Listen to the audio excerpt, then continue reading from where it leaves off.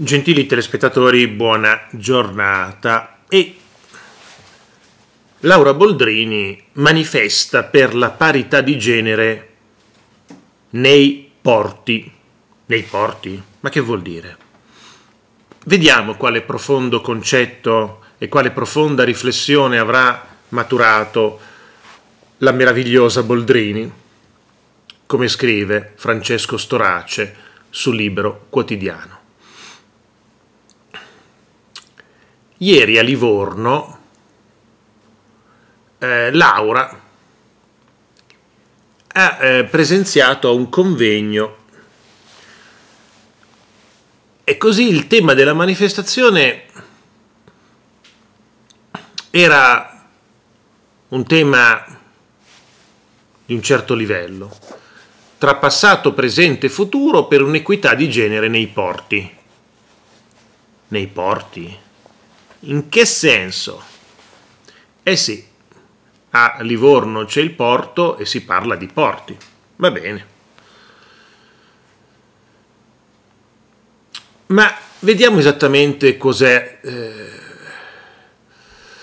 Ma, poi Storace scrive: Ma dobbiamo parlare della nave o il nave? Perché la nave nave finisce con la E, però è femminile, la nave, però per la discriminazione di genere, di l'attenzione alle parole, tutte queste cose qua, la nave potrebbe diventare al maschile il nave. Hm? Il nave. Vabbè.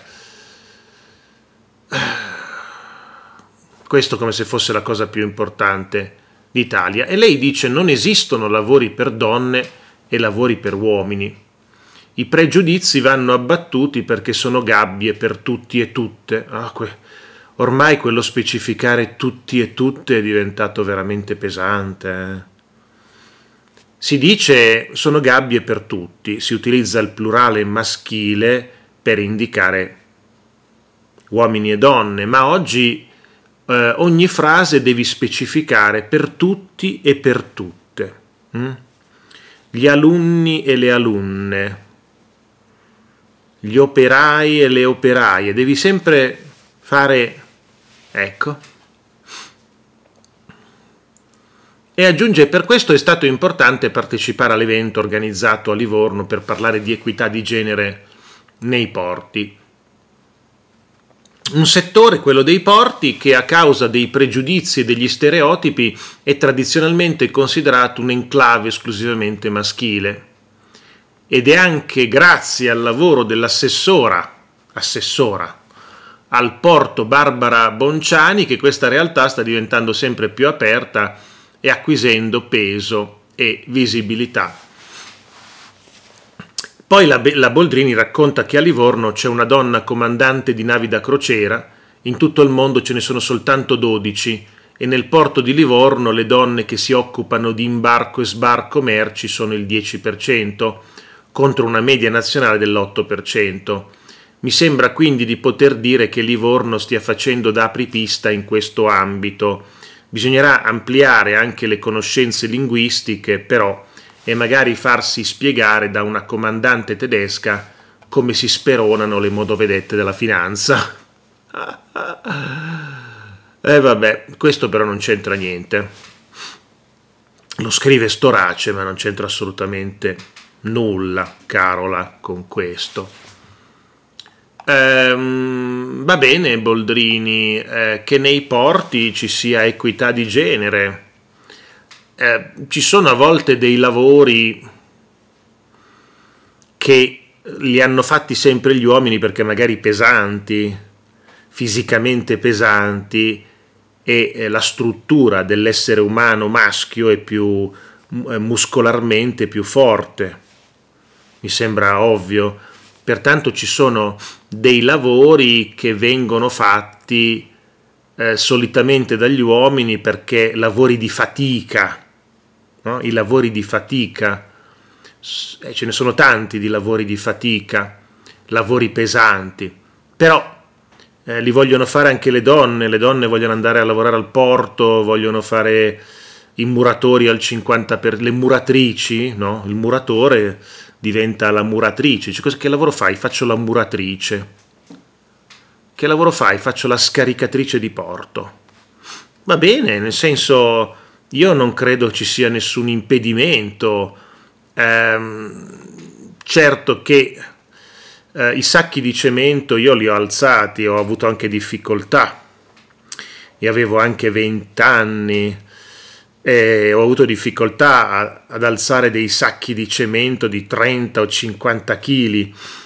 Per qualche mese, tre mesi, ho aiutato mio zio, che aveva un'impresa di costruzioni. Per tre mesi ero andato a lavorare con lui. Si stava ampliando una fabbrica, mi ricordo, intorno a Milano.